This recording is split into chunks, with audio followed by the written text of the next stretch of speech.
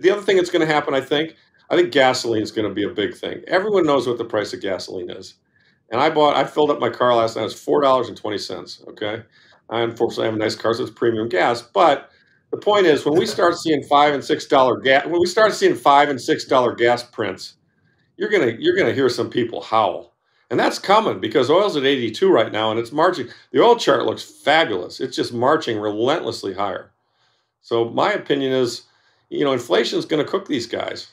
And I don't know what the hell they're going to do. I mean, I don't know why Jay Powell wanted to be reappointed. I mean, he has to be one of the dumbest men in the world. I mean, if I were in that job, I'd have gotten out of there so damn fast, your head would have spun. I'd have said, thank you very much. You know, go, I'll, I'll hit the lecture circuit. I'll write a book. I'll call myself a hero. I mean, thank, you know, Bernanke. I mean, all those guys. I mean, when you're in that seat, you know, he's to, he's going to be the guy, I think, who takes the blame when this whole thing comes undone. Now, the interesting thing with everything Larry said, uh, I think to a man, a person on this podcast, so none of us want this to happen, though, right, gentlemen? We do not want the system to unravel. No. You, you cannot no. possibly want that. So there is a solution. Yes. And we've talked about what that solution is. That solution is a Bitcoin standard or a parallel network that operates as your savings account and the fiat currency is your checking account. And you use the fiat currency for things like international trade and avoiding barter. But you don't store your value in your checking account. You store your value in your savings account. If the right. United States adopts the Bitcoin standard, which I think they should do, and I think they will do, then you can ensure that this network transfer rescues this horrible outcome. Okay. And you can continue having a fiat global reserve currency, and the global reserve asset will be Bitcoin, not US treasuries anymore, but Bitcoin. I completely agree. Isn't there a risk, though, Greg, that if uh, if the equity markets drop, that Bitcoin still correlates with the equity markets, that the Bitcoin itself could drop? You don't think so? No question it could drop, but here's the reality and I've tried to explain this. And you know, the best thing I can describe Bitcoin as as it is credit protection on a basket of sovereigns. Lawrence brought that up.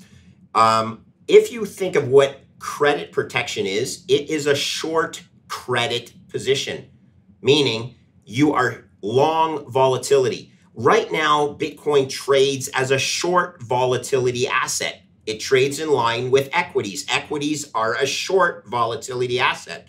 But people haven't done their homework to understand what the beauty is of this instrument. It's only 13 years old. Most people don't understand what credit protection is to begin with, let alone what a long volatility asset is. But the smart guys out there, the Ray Dalios of the world, I promise you understand what a long volatility asset is. So it's a it's a question of education. More importantly, it's a question of the big money understanding this most beautiful instrument which will hedge all their other short volatility positions. In reality, you should own Bitcoin against the price of equities falling.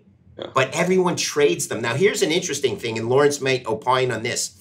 Open interest in Bitcoin futures just reached all time highs. Okay. Are there equity players out there that are short Bitcoin to hedge their long equity positions? I guarantee you they are. Oh, absolutely. And that's what's called hedged and wedged. Okay. You are in an inverted trade and you're going to get your face ripped off when the world understands that Bitcoin is actually insurance and everyone who's short insurance now needs to not only cover their short, but actually go out there and buy insurance as well. It'll create what I called in a Bitcoin magazine article that I wrote with Seb Bunney the gamma squeeze on the Fed put. Bitcoin is a put on the Fed put. It's the most beautiful option instrument ever designed. Completely. It has no theta, which means no time expiry. It is actually a long volatility asset. And the gamma squeeze on the Fed put means the Fed central bank is also going to have to be a buyer of Bitcoin. Yeah.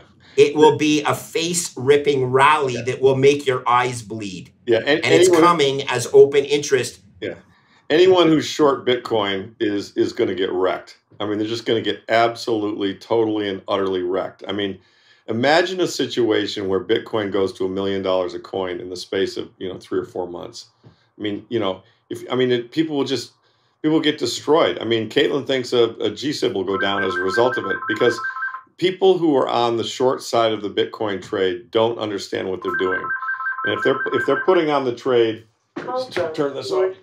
If, if they're putting on the trade that Greg just talked about, they're insane. They're absolutely insane because there's a limited supply of this stuff and it could go discontinuous up and almost to the point where there's no offer. And um, you know, it, it, it will probably croak the financial system at some point. And so to be short it is is I mean I can't imagine anything more stupid. We all might have other problems. I mean that the sad sad thing and nobody wishes for the system to blow up. None of us created this system and none of us you know um, voted for the system, but the system is what it is.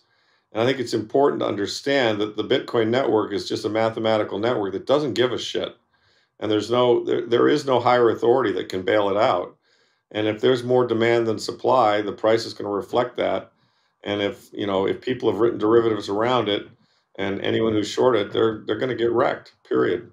Here's the cool thing.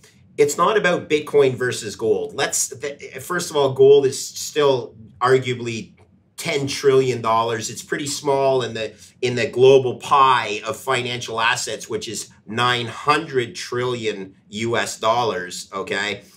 Debt of that 900 trillion debt is 400 trillion. Get me 10% of the debt market going into bitcoin 10% of the debt market is 40 trillion dollars 40 trillion divided by 21 million oh my goodness, there's your $2 million price target of Bitcoin. Right. Don't have to argue with the gold bugs. We don't have to argue with the equity guys. The debt guys are the idiots in the room, okay? If you are lending money, you are a clown, okay? You failed mathematics. Understand that Bitcoin is your appropriate uh, new asset class. If you're going to allocate to uh, Bitcoin, you have zero Bitcoin, you need to get some, take it out of your bond po uh, portfolio, take it out of your bond basket and move it into Bitcoin. Get off zero, right, Peter? There's too many people in the world that still have zero allocation zero. to Bitcoin, and that is too dangerous. You know, it's, it's not all apocalyptic. This will get it. This thing will get sorted out. It really will.